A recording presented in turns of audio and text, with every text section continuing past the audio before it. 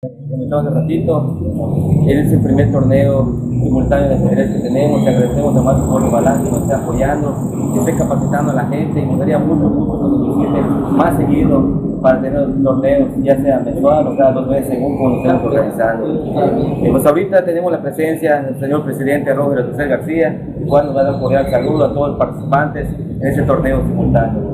Pero muy buenos días a todos, gracias a don Jorge por ese esfuerzo que está haciendo, por tener en cuenta Valladolid. Les felicito a ustedes que están interesados en este deporte ciencia. Nos da muchísimo gusto, Juanito, bienvenido, regidor Juan Villanueva.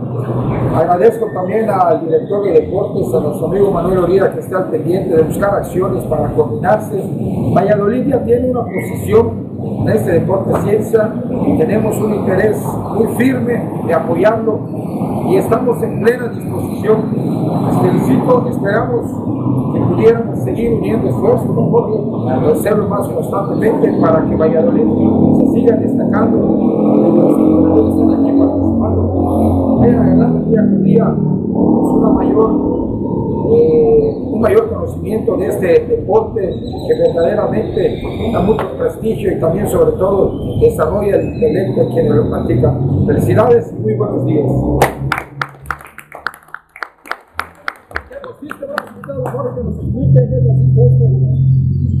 Este, es una demostración, es espectacular. Un jugador se enfrenta, en este caso yo, contra todos los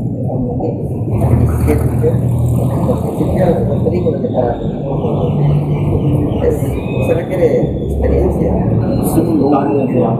Explícanos, ¿quieres un taller de ajedrez? Explícanos cómo Ya, ya, ya reiteramos, este, les ofrecemos asesoría, capacitación en todo lo que se nos ofrezca. Valladolid, estamos viendo con mucho entusiasmo, con mucho el mundo que están subiendo.